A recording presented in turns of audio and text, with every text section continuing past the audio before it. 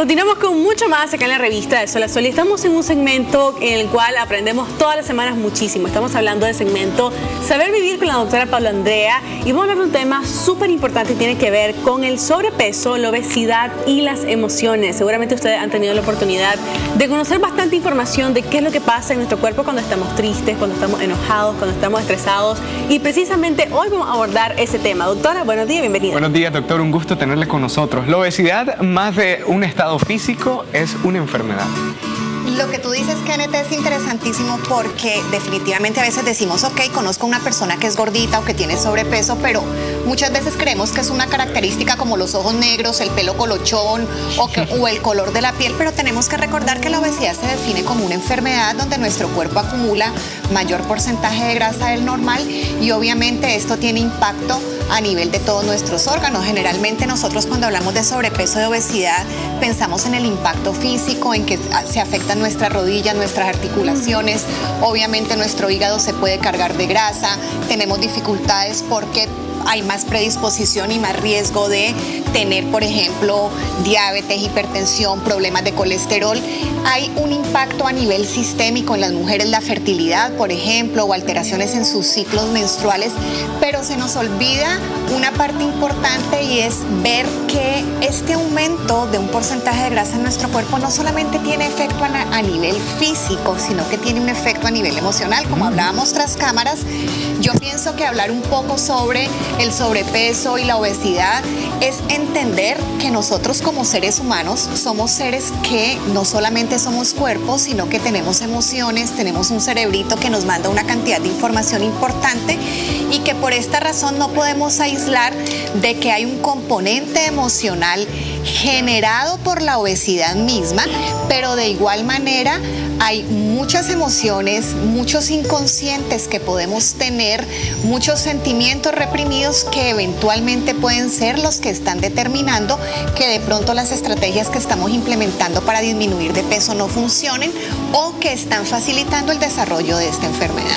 Ahora, esa imagen que vemos ahí, pues, eh, eh, básicamente como esa lucha que de pronto a uno se le da, porque quizás ya sabes que tenés que bajar de peso, ya sabes que, que tenés que ir al gimnasio, que tenés que hacer ejercicio, que tenés que hacer más actividad física, pero a la hora, por ejemplo, que te toca elegir qué va a almorzar y tener varias opciones, tener desde una ensalada muy saludable hasta una hamburguesa, una pizza, todo opcional, vos preferís incluso la hamburguesa o la pizza sabiendo que no deberías de comer eso. O sea, ¿qué pasa ahí, doctora? Cuando uno está claro de que tiene que hacerlo y muchas veces no solamente por estética, sino también por salud y aún así no hay manera. Algunas personas le, tratan de llamar fuerza de voluntad. ¿Es esto correcto? O cuénteme usted, doctora, ¿qué es la experta? ¿Qué, sucede en estos casos? Bueno, ustedes acaban de mencionar algo importante y es que nos recordemos que la obesidad y esta acumulación de grasa se genera porque hay un desbalance energético y definitivamente para que nuestro cuerpo almacene grasa, pues tenemos que la ingesta calórica es mayor que lo que nosotros quemamos. Entonces hay una acumulación de grasa. Sin embargo, lo que ustedes mencionan es importante. Muchas veces yo, es, muy frecuente que la gente se sabe muy bien la teoría. Entonces la gente sabe que tiene que comerse la ensalada, sabe que tiene que ir al gimnasio, sabe que tiene que tener un cambio en el estilo de vida, pero muchas veces hay algo más fuerte que no les permite poder ejecutar estas, estas estrategias o estas conductas que ellos en el fondo saben que deben modificar. Entonces muchas veces la gente le dice, pero es que esto es cuestión de fuerza de voluntad.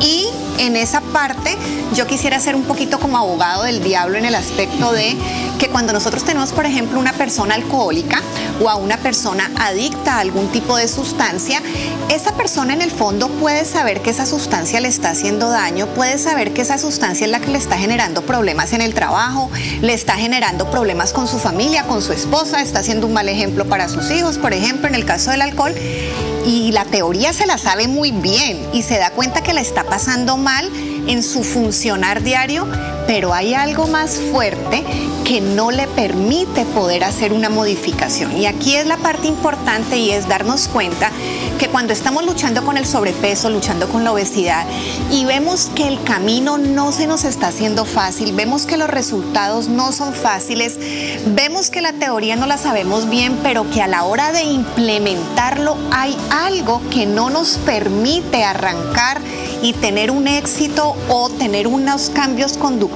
a largo plazo, pues entra la parte de darle importancia a qué más hay detrás y ese qué más hay detrás puede ser desde la parte emocional y puede ser desde la parte más profunda de sentimientos, de ciertas condiciones que pueden predisponernos desde la parte emotiva y por eso debemos de buscar apoyo. Cuando ustedes leen, por ejemplo, en los libros de medicina, obesidad, siempre te dicen el tratamiento de la obesidad es multidisciplinario. Y cuando hablamos de multidisciplinario, pues entra el ginecólogo, entra muchas veces el cirujano cuando van a hacer cirugía bariátrica, entra el internista, el nutricionista, el deportólogo, pero no se nos olvide de los psicólogos, no nos olvidemos de los psiquiatras, no nos olvidemos de buscar grupos de apoyo, de no es dejar afuera y minimizar esa parte de priorizar también y darle un lugar muy importante a la parte emocional. Porque, ¿qué es lo que pasa?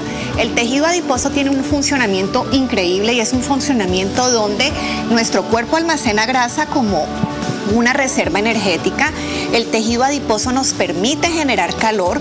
El tejido adiposo se acumula, por ejemplo, cuando es en la parte abdominal. Es un tejido que es acolchonado y muchas veces nos genera protección.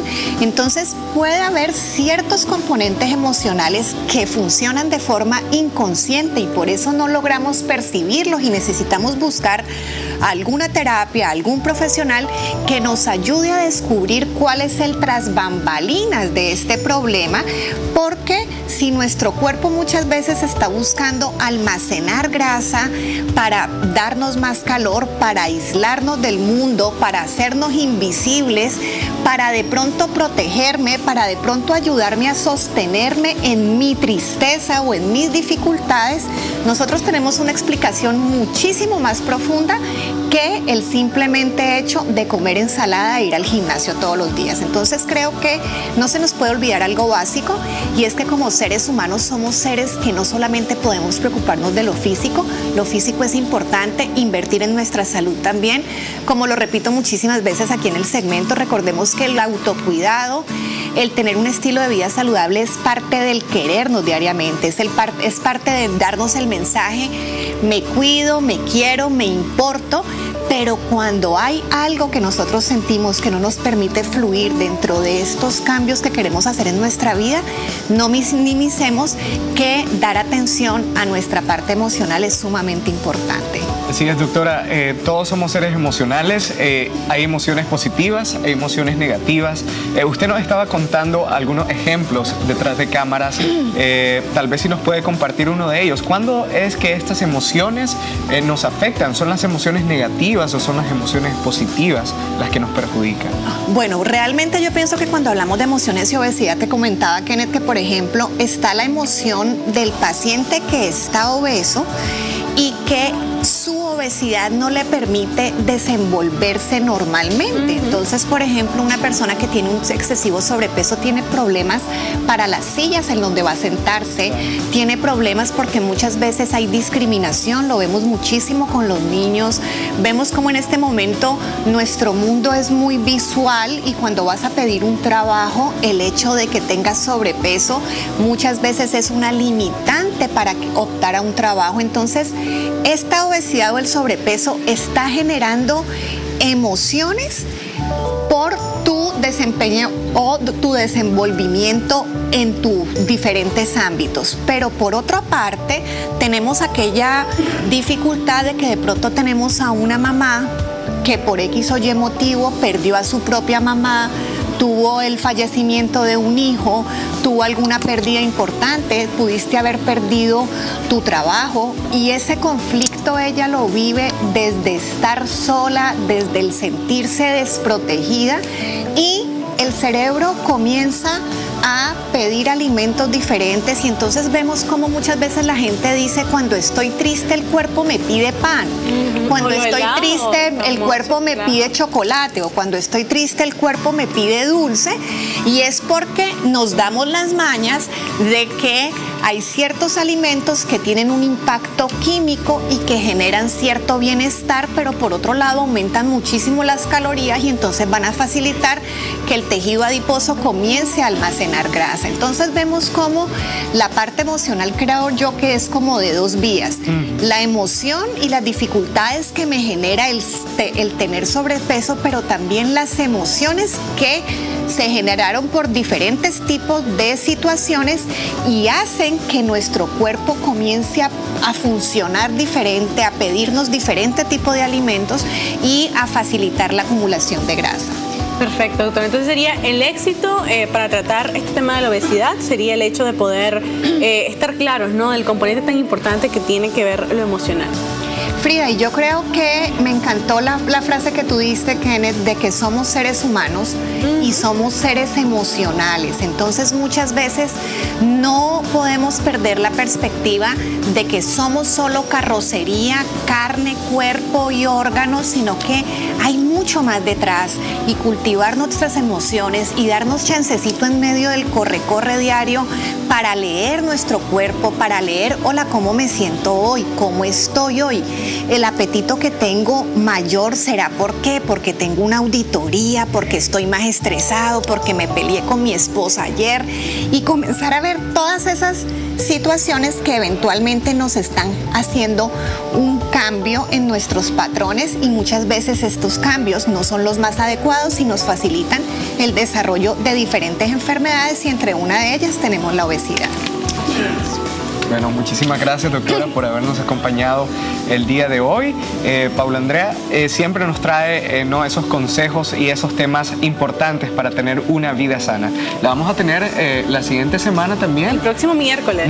para que nos siga compartiendo más temas súper interesantes que yo sé que a todos les gustan. Ok, nos vemos la próxima semana. Muchísimas gracias, doctora. Temas muy importantes. Yo creo que mucho hablamos y está muy bien el tema de cómo alimentarnos, pero dejamos también de un lado como que de pronto se nos olvida, ¿no? De que, como dice Kenneth, como hemos llegado a la conclusión, somos más que eso, hay que revisarnos, hay que revisarnos qué hay dentro. Doctora, muchísimas gracias. Gracias. la otra semana. La próxima semana no se pierdan el programa, va a estar muy interesante porque vamos a hablar, el 29 de septiembre es el Día Mundial del Corazón. Ah, Entonces la próxima semana vamos a dedicar tiempo a hablar de qué van a hacer las esposas y los esposos o las mamás para cuidar a sus propias mamás cuando tuvimos un evento cardiovascular y un infarto. ¿Qué tenemos que modificar en la dieta? ¿Qué tenemos que variar?